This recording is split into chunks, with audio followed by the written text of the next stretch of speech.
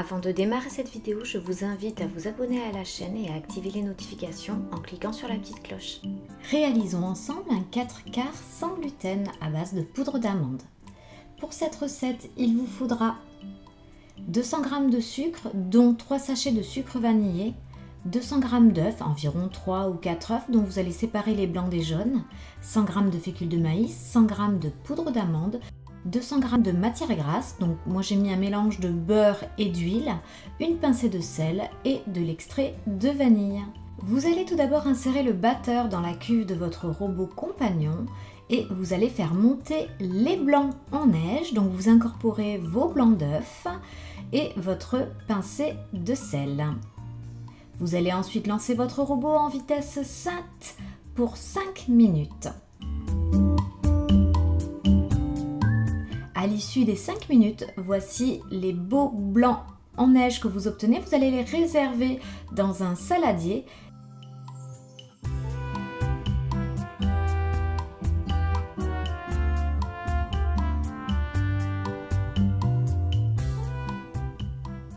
Sans nettoyer votre cuve ni votre batteur, vous replacez le tout.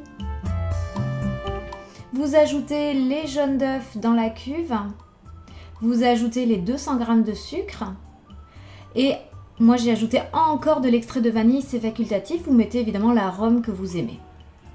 Vous allez ensuite lancer votre robot en vitesse 7 pour une minute. Ajoutez ensuite les 100 g de fécule de maïs, les 100 g de poudre d'amande et votre matière grasse donc soit du beurre mou, soit de l'huile végétale, soit un mélange des deux comme moi, et relancer en vitesse 7 pour 30 secondes. Et voilà, vous allez maintenant incorporer votre euh, crème d'amande au blanc d'œuf que vous avez euh, monté en neige et qui euh, ont été réservés dans un saladier.